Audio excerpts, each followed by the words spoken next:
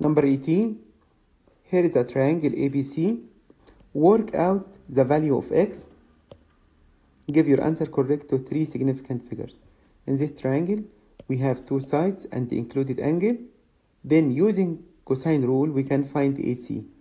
After we find AC, then we can find x using sine rule.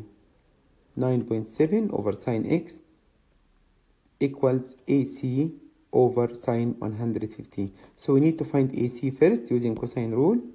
So AC equals square root 9.7 squared plus 12.3 squared minus 2 times 9.7 times 12.3 cosine of 115 equals 18.6 meter to three significant figures. Now this 18.6. Now use sine rule to find x.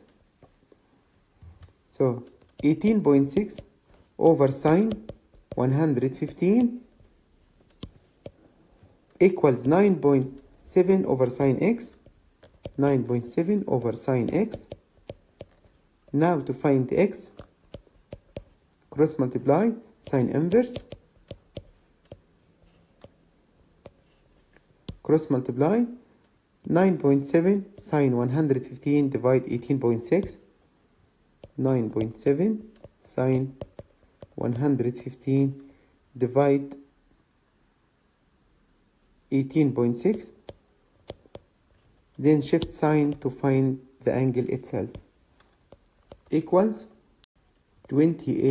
28.2 to one decimal place or to three significant figures